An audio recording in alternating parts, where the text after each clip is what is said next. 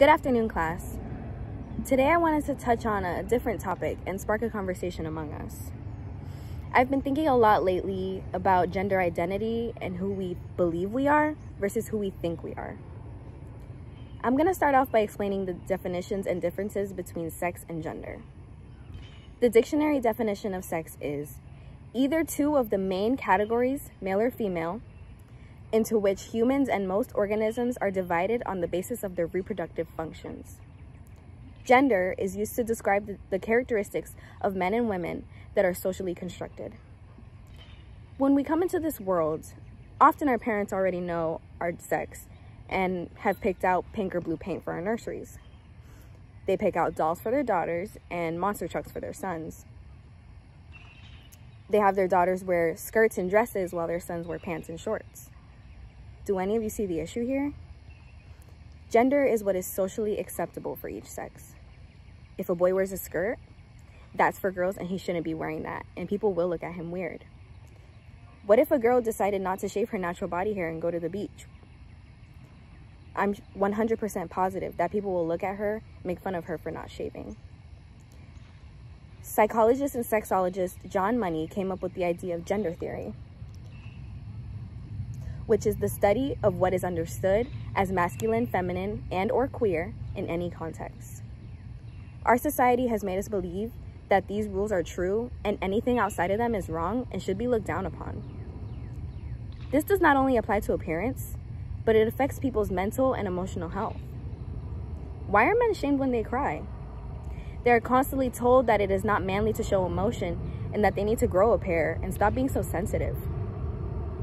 It is supposedly a girl thing to show your emotions. When women are tough and speak their minds and show no indication as to what they're feeling, they're quickly called cold-hearted or a bitch. Through the 1960s and 70s, researchers turned more towards gender studies and analyzing when children recognize whether they are a boy or a girl and how it starts to change their perspe perspective of things around them. In about their second year of life, children already know the stereotypical differences between boys and girls and are able to identify themselves as one of the categories. This is when they start to recognize that the other gender may have cooties and tend to stay away from them. Meanwhile, their curiosity grows for their counterpart. Parents, of course, are entitled to raising their child in any way they feel is fit and will keep their child safe and happy. But sometimes, guardians can go to extreme lengths, like forcing their sons to play football or shaming a little boy for crying about someone taking his toy. Why don't you just hit him back? Stop acting like a little girl. Even punishing a child for wanting to play with his sister's Barbies can be an issue in some households.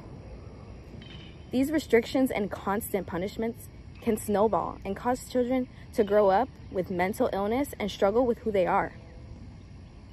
There are so many children and young adults who are afraid to tell their parents how they really feel, who they really love, or even what the constant abuse did to them. How are we going to teach our future generations from both sexes to open up and be vulnerable whenever they feel like it, when one group is expected to do it and the other is scolded when they do? I'm a strong advocate for doing whatever makes you happy. And if happiness to you means something that is not considered normal and is unconventional, then by all means do it. As long as you are not hurting anyone else, do whatever you want. Why should we care about what others think of us? What, what are they gonna do for us? Why would some lady on the street that gives me a dirty look when I'm wearing dark makeup affect me? The issue is that we allow it. We allow other people's opinions and societal norms to make us conform and be just like everyone else. Especially in many countries, including the United States, this is what they want. A bunch of little robots acting and doing the same thing, looking the same, etc. And then make it seem so taboo when there's perfectly fine people who are just not like everyone else and freely express themselves with no shame. A great example of this is in December 2020, singer Harry Styles appeared on the cover of Vogue wearing a dress. He was the first solo male ever to appear on the cover of Vogue, which is a huge accomplishment on its own. But critics completely bypass this accomplishment and put him down by saying that men should not wear dresses. Candace Owens, a critic, although I secretly think she's a big fan, responded to the magazine cover saying, Bring back manly men. Bring back manly men. What I actually think she meant was bring back toxic masculinity and insecurities.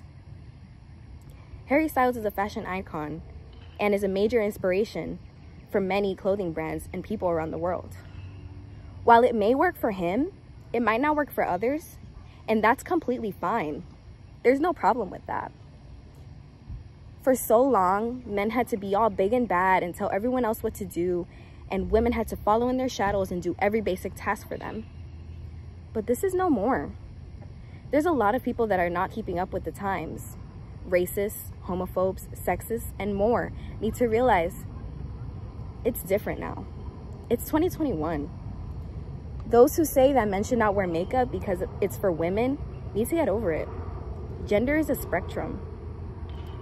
Some women may fall on the way more feminine side of the spectrum, wearing dresses, full faces of makeup, loving the color pink, and that makes them content.